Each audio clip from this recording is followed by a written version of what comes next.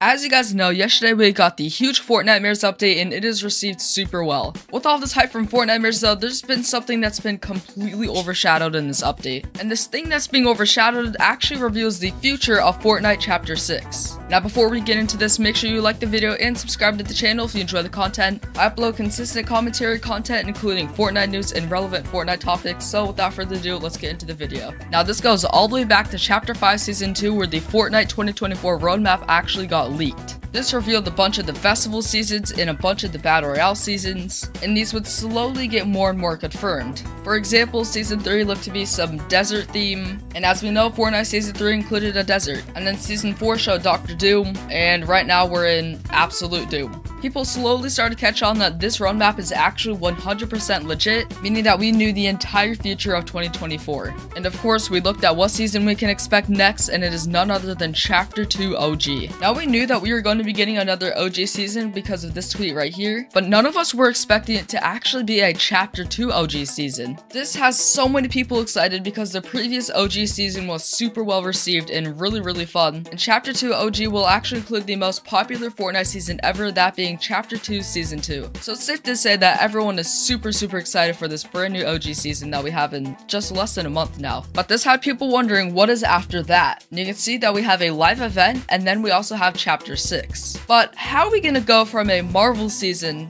into a chapter 2 OG season and then go from there into chapter 6. It doesn't really make sense at the moment, but with yesterday's Fortnitemares update, a ton of things got added back to the files that reveal some crazy things about Fortnite chapter 6. Now yesterday's big reveals actually starts with the map changes. Now these map changes start with a brand new farm POI that we got. We also got a ton of Halloween themed locations. I mean this number of map changes is actually unheard of in chapter 5. We barely ever get mid-season map changes anymore and this trend started started with chapter 4. So all people could talk about is the fact that we got a brand new POI in this update. But with all this hype of these locations actually overshadows another map change that reveals so much. Heading all the way to the desert biome, you can actually see the Rave Cave head. In case you don't remember this, Rave Cave was actually a chapter 3 location, and the last time we ever saw this was in chapter 4 before it got destroyed by the Mega City biome. So why is it here? It doesn't make sense for this to just randomly be added in an update, right? Well, that's not where all the Chapter 3 teasers end. With yesterday's update, the Chapter 3 map got added back to the files, specifically version 22.30. And if we revisit whatever map that is, you can see that it is actually a map from the Chrome season. And as you can see from Retro, he says, for those who don't know, version 22.30 released on November 1st, 2022, and the Chapter 5 Season 4 finale event is happening on November 1st. Now, this is just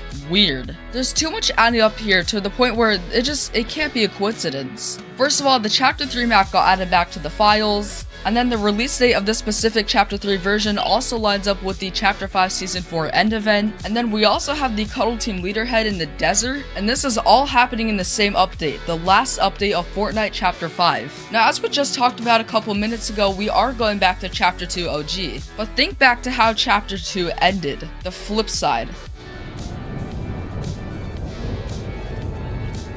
This event had us flip over the island revealing the chapter 3 island. And I know that we're only going back to the first 3 seasons, but since we are technically messing with time to get back to chapter 2, this could create some type of strange flip side event where the flip side happens sooner than it was actually meant to. In this case, chapter 2 season 3. We know that after chapter 2 OG we have chapter 6, and people are almost starting to wonder if Chapter 6 will be a continuation of Fortnite Chapter 3. This could even be a brand new Chapter 3 timeline where we actually ended up beating the Herald. As we know, Chapter 3 ended with Herald actually winning and blowing up the Chapter 3 island.